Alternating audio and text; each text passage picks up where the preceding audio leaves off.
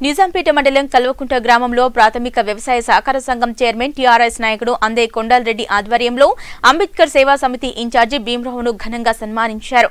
ఈ సందర్భంగా వారు మాట్లాడుతూ గల్ఫ్లో ఉన్నవారు ఎవరైనా ప్రమాదంలో చనిపోతే సేవా సమితి ద్వారా ఇండియాకి పంపించడం జరుగుతుందని సొంత డబ్బులు ఖర్చు పెట్టి మోసాలకు గురైన వలస కార్మికుల్ని ఇండియాకు పంపించడం జరుగుతుందన్నారు.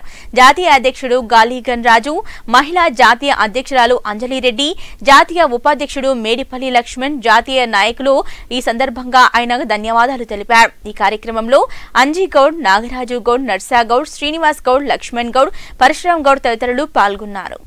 అంబేద్కర్ సేవా సమితి అంతర్జాతీయ స్థాయిలో పనిచేస్తుంది.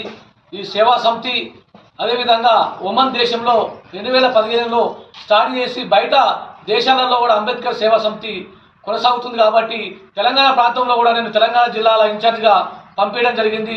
గౌరవ అధ్యక్షుడు రాజయ్య గారు పిలుపు మేరకు తెలంగాణలో సిద్దిపేట ఈ ప్రాంతాలన్నీ తిరుగుతూ ఈ మెదక్ జిల్లాకు కూడా నన్ను ఇన్ఛార్జిగా నియమించిన సందర్భంగా నేను ఈ కలకుంట గ్రామానికి వచ్చిన సందర్భంగా ఇక్కడ ఉన్నటువంటి మా వైఎస్ఎంపీపీ కొండలేని అన్న గారు సంఘము కలకుంట గౌడ సంఘం వారు నన్ను ఇలా సన్మానించడము చాలా గొప్ప విషయము.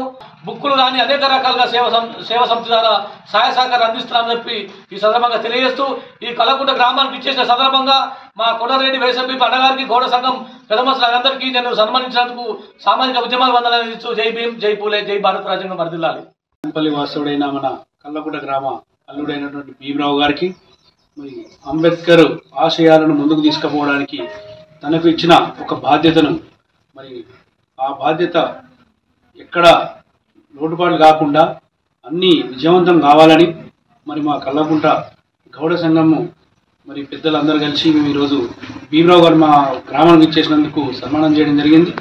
మరి ఇందులోనే మరి యావత్ ప్రపంచం భారతదేశమే కాకుండా యావత్ ప్రపంచ దేశాలన్నీ అంబేద్కర్ చూపు చూస్తున్నాయి. అంబేద్కర్ రాసిన రాజ్యాంగం చూపు చూస్తున్నాయి. మరి ఆశయాలు ఆ రాజ్యాంగాన్ని మరి ఎవరు కూడా ఇంత కింద మా మనము నూటికి నూరు శాతం మరి ఉపయోగించుకోవాలి. మరి ఈ రాజ్యాంగంతోనే మన భవిష్యత్తు మారుతుందనేది నమ్మకం అనేది నూటికి నూరు శాతం ప్రజల్లో ఉన్నది.